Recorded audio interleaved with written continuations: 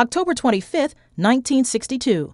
In New York, the Cuban Missile Crisis takes center stage at the United Nations Security Council. Ambassador Adlai Stevenson presents photographic evidence of Soviet missile bases in Cuba.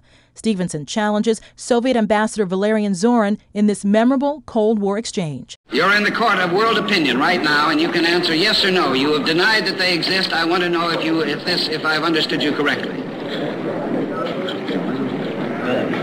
Continue your statement, please. You will receive the answer in the due course. Do not worry.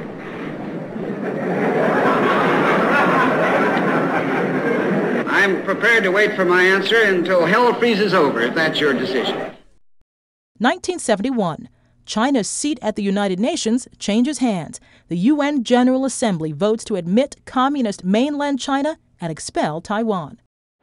1983. An American led force invades Grenada to oust a leftist government allied with Cuba and the Soviet Union.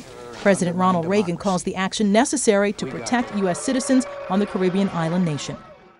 1854. The battle that inspires the poem The Charge of the Light Brigade happens during the Crimean War.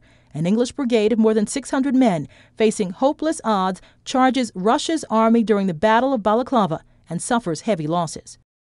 1400. Geoffrey Chaucer author of the Canterbury Tales, one of English literature's greatest works, dies in London. In 1999, golfer Payne Stewart and five others are killed when their Learjet crashes in South Dakota after flying uncontrolled for four hours. Stewart was 42 years old. Today in History, October 25th, Carlotta Bradley, The Associated Press.